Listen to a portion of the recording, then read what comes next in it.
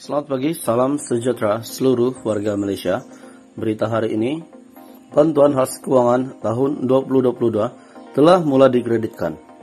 Bantuan khas keuangan kerajaan tahun 2022 telah dikreditkan. Ini mereka yang layak dan jumlah bayarannya.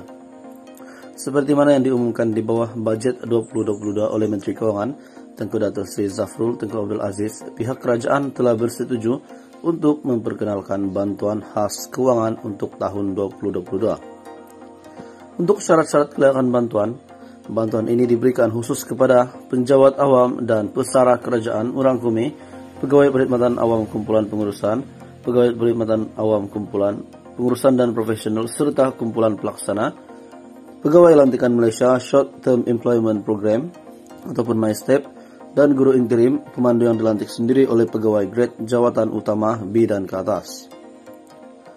Untuk tarik pembayaran, untuk tarik pembayaran bantuan khas keuangan tahun 2022 ini di dalam hebahan rasmi yang dikeluarkan oleh Jabatan Perkhidmatan Awam Malaysia ataupun JPA, pembayaran bantuan khas keuangan ini telah dilaksanakan pada 25 Januari 2020 yang lalu.